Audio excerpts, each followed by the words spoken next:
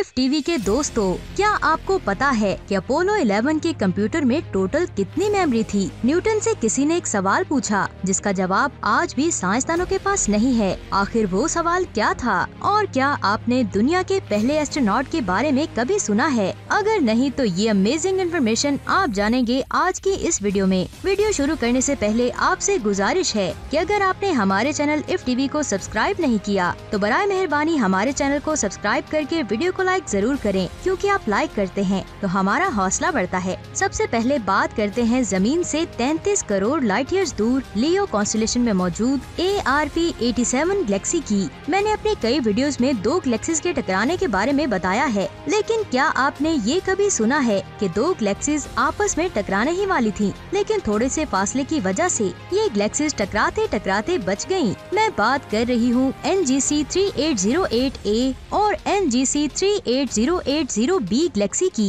ये गलेक्सीज पिछले करोड़ों सालों से इसी तरह एक दूसरे के गिर्द घूम रही हैं। इनको 10 अप्रैल 1985 में विलियम हर्शल ने ढूंढा था। उसके बाद सन 2007 में हमने हबल स्पेस टेलीस्कोप की मदद से इन्हें अच्छी तरह से देखा था। साइंसदानों के मुताबिक आने वाले करोड़ों सालों में ये दोनों गलेक्सीज एक दूसरे से टकरा जाएँगी और एक न्यू गलेक्सी की फॉर्मेशन होगी। अब बात करते हैं इस तस्वीर की। क्या आप इन्हें जानते हैं? शायद आप पहली बार इन्हें देख रहे होंगे। इनका नाम है मार्गरेट हैमिल्टन और ये अमेरिका के मैसेच्यूसेट्स इंस्टीट्यूट ऑफ़ टेक्नोलॉजी की लेबोरेटरी की सॉफ्टवेयर इंजीनियरिंग डिपार्टमेंट की डायरेक्टर हुआ करती थी और इन्हीं की लीडरशिप में नासा के man moon mission Apollo program के फ़्लाइट सॉफ्टवेयर डेवलप किए गए थे। आप इस तस्वीर को देखें, जिसमें मार्गरेट हैमिल्टन उस पूरी कोडिंग के पायल के साथ खड़ी है, जो उन्होंने अपोलो प्रोग्राम के लिए लिखी थी। यहाँ मैं आपको बता दूँ की अपोलो प्रोग्राम के कंप्यूटर में यूज़ की गई मेमोरी करीब 72 केबी थी और आज के दौर में एक नॉर्मल फ़ोन की मेमोरी 16 जीबी आसानी से मिल जाती है। उस वक्त प्रोग्रामर को पेपर पंच कार्ड में कोडिंग लिखकर उन्हें एक कमरे के साइज़ के कंप्यूटर में फ़ीड करना पड़ता था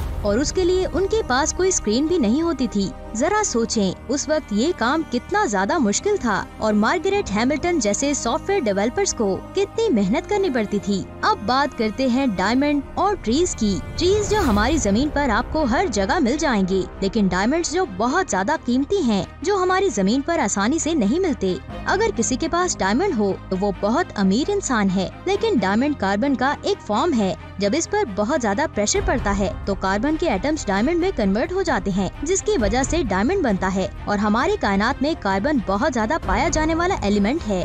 लेकिन आज तक हम कायनात में ट्रीज को नहीं ढूंढ पाए तो यहाँ पर एक सवाल आता है कि हमारी कायनात में सबसे ज़्यादा कीमती क्या है ट्रीज या फिर डायमंड? अब आप कहेंगे कि ट्रीज सो ज़मीन पर ट्रीज की हिफाजत करें और ज़्यादा से ज़्यादा दरख्त लगाएँ, क्योंकि ये हम इंसानों के लिए बहुत ज़्यादा कीमती हैं। अब बात करते हैं मार्स की। आज तक हम मार्स की जो भी तस्वीरें देखते थे, वो बहुत लो रेजोल्यूशन वाली होती थी। अगर कोई अच्छी तस्वीर हमें मिलती तो वो एडिट की हुई होती थी। लेकिन आने वाले वक्त में हम मार्स की 4K रेजोल्यूशन वाली तस्वीर देख पाएँगे। जापान की स्पेस एजेंसी ने एक सुपर हाई विजन कैमरा बनाने का प्लान किया है। इस कैमरा के ज़रिए हम मार्स की 4K और 8 के रेजोल्यूशन वाली तस्वीर खींच पाएँगे। सन 2008 में हमने जापान के एक स्पेस क्राफ्ट कैगो के ज़रिए चाँद की एचडी वीडियो देखी थी और अब मार्स पर भी जापान ये मिशन शुरू कर रहा है। सन 2024 तक ये कैमराज मार्स पर भेजे जाएँगे। ये न सिर्फ़ मार्स की तस्वीरें खींचेंगे, बल्कि इसके दो मून फोबोस और डायमोज की तस्वीरें खींचेंगे। अब बात करते हैं दुनिया के पहले एस्ट्रोनॉट की, जिसने सबसे पहले स्पेस में जाने की कोशिश की थी। सन 1600 में चाइना का एक आदमी, जिसका नाम वंग हु था, उसने सोचा कि क्यों ना आउटर स्पेस में जाने की कोशिश की जाए। इसके लिए उसने एक चेयर बनाई, जिसके नीचे 47 रॉकेट्स लगे हुए थे। उस वक्त ये इतने एडवांस्ड रॉकेट नहीं थे, बल्कि गन पाउडर वाले रॉकेट्स थे, जो चाइना में कई हज़ार सालों से बनाए जाते थे। वंग हु ने अपनी चेयर को एक खाली जगह पर सेट किया और उन रॉकेट्स को जला दिया। और रॉकेट्स जले और उनकी चेयर ऊपर की तरफ़ उठने लगी। लेकिन उसके बाद उस चेयर में एक्सप्लोजन हो गया और वंग हु के टुकड़े टुकड़े हो गए। ये चाइना का सबसे पहला आदमी था जिसने स्पेस में जाने की कोशिश की थी। उस वक्त इतनी टेक्नोलॉजी नहीं थी, फिर भी उसने ऐसा सोचा, जिसकी वजह से चाँद की फार साइड पर एक क्रेटर है, जिसका नाम वंग हु है। अब बात करते हैं बेंटेली पैराडॉक्स की।